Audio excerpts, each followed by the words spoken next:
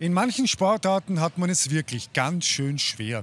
Zum Beispiel im Gewichtheben. Das Training ist hart und intensiv dazu, voller Entbehrungen. Und wenn man dann endlich erfolgreich ist, dann ist man weder reich noch hat man einen wirklich hohen Bekanntheitsgrad, zumindest in Österreich.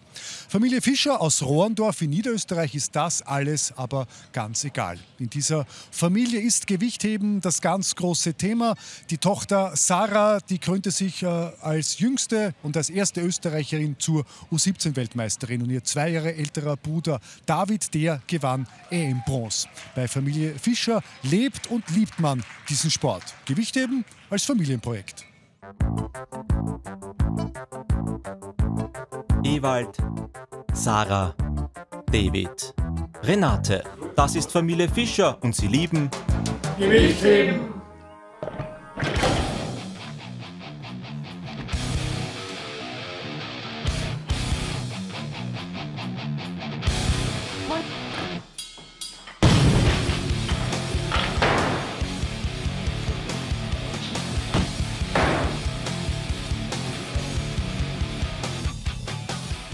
Also der David ist eigentlich das komplette Gegenteil von mir. Ich bin zwar ehrgeizig, aber er verdreifacht das einfach. Die Sarah, die ist eher wie der Papa mit dem Kopf durch die Wand und ist sehr hartnäckig und sehr zielstrebig. Ein Trainingsraum in Krems an der Donau. Hier verbringen Sarah und David mehr Zeit als zu Hause. Vor einem wichtigen Wettkampf wird dreimal täglich trainiert. Reißen, Stoßen, Kniebeugen. 10 bis 15 Tonnen werden pro Einheit bewegt.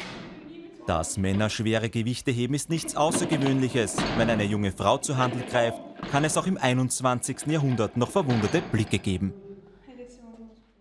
Am Anfang war es schon schwierig, weil halt die Leute haben schon ein bisschen dumm geschaut, so was macht die da, warum macht sie das, kann sie nicht, keine Ahnung, Ballett tanzen oder irgendwas gehen. Aber mittlerweile ist es mir so egal, weil die Erfolge sprechen ja für mich. Die zehnfache Staatsmeisterin und ihr Bruder werden von Vater Ewald trainiert. Schau, dass du länger auf der Ferse bleibst beim Wegheben in der Zug quasi erst auf, auf Zehenspitzen noch ausschlagen. Du bist zu auf der Zehenspitzen. Körperspannung, Federung ausnutzen. Hüfte vor. Ja, gut. Zehn auf. Geh mal, komm. Was der Trainer sagt, wird gemacht. Der 47-jährige hauptberufliche Lokführer musste aber erst lernen, mit dieser Situation richtig umzugehen. Es ist für mich am Anfang sehr schwierig gewesen, weil ich das nicht kennen habe und das liegt der Fehler rein, rein bei mir. Ich habe es schulisch in die Halle mitgenommen, ich habe das vom Training mit nach Hause mitgenommen. Und mittlerweile, so die letzten zwei Jahre, hat sich das gebessert. Wo es in der Halle ist, da bin ich der Trainer. Da fallen auch oft Wörter, was zum Papa nicht sagen denn alle zwei und daheim bin ich eben der Papa. Im Hause Fischer weiß man sofort, worum sich alles dreht. Wo man auch hinsieht, Gewichtheben ist allgegenwärtig. Renate Fischer unterstützt ihre Familie, wo sie kann. Unter anderem ist die gelernte Köchin für die Verpflegung zuständig. Ihre Kinder müssen je nach Trainingsphase zwischen 4.000 und 6.000 Kalorien pro Tag zu sich nehmen. Ein Schnitzel hat ca. 210 Kalorien. Alles ist geplant, nichts wird dem Zufall überlassen. Gewichtheben bestimmt das Leben. Ja, da muss man verrückt sein nach Gewichtheben, weil sonst würde es nicht funktionieren. Ich selber mache kein wenig Sport, ich gehe nur zweimal in der Woche wocken.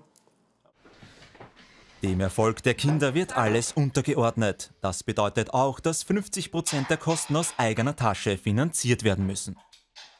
Geldmäßig muss ich sagen, geht sehr viel Geld drauf, weil mit den Sponsoren kommen wir nicht aus. Der Verband hat auch nicht unendlich Geld, also bleibt da schon ein Haufen Botzen Mama und Papa hängen.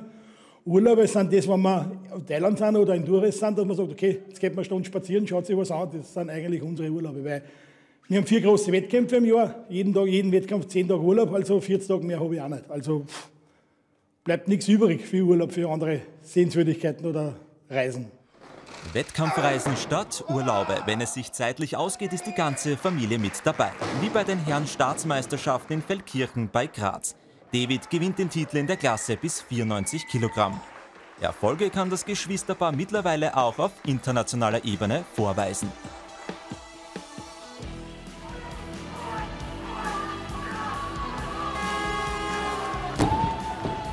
Sarah holt sich 2017 als erste Österreicherin einen U17 WM-Titel. Ihr Bruder gewinnt im selben Jahr EM-Bronze bei den unter 19-Jährigen. Gottlieb. Für jede Medaille, wo sie oben stehen und die österreichische Fahne halten, ist das für mich wie, wie, wie ein Lotto 6er, sage ich mal sagen. Es sind verschiedene Puzzleteile, die ein großes Ganzes ergeben. Sarah und David wissen genau, was sie wollen. Die Olympischen Spiele 2020 und 2024 und dort um eine Medaille mitzukämpfen. Also ja, Traum ist halt olympische Medaille. Der Traum von der olympischen Medaille könnte sich rasch in nichts auflösen. Aufgrund zahlreicher Dopingvergehen sind bei der WM 2017 neun Nationen gesperrt. Das IOC droht mit einem Olympiaausschluss, sollte der Gewichtheberverband das Problem nicht in den Griff bekommen. Wenn da alle Vereine oder alle Verbände so getestet werden wie wir österreichischen Sportler, wäre die Chancengleichheit nur viel besser. Weil ich sage, so circa zwischen vier bis fünf Wochen Leute jede jedes Mal in der Früh das ist eine Dopingkontrolle, ich habe kein Problem damit, gehört das so, aber es gehört auch die anderen Nationen so kontrolliert. Chancengleichheit für alle, damit sich das harte Training bezahlt macht. Sarah und David lassen sich von ihrem Weg nicht abbringen. Das System Fischer funktioniert, auch wenn in der Vergangenheit nicht allzu viele damit gerechnet haben. Vor zehn Jahren haben sie alle gelacht über die Familie Fischer und der Fischer ist ein Trottel, der holt jetzt einen bulgarischen Trainer. Und das bringt ja sowieso nichts, weil der Trainer bringt es um. Man sieht da, der hat die Kinder nicht umgebracht. Zara ist seit 7. April 2013 die stärkste Frau Österreichs, der David ist der zweitstärkste Österreicher. Die Fischers, eine wirklich starke Familie.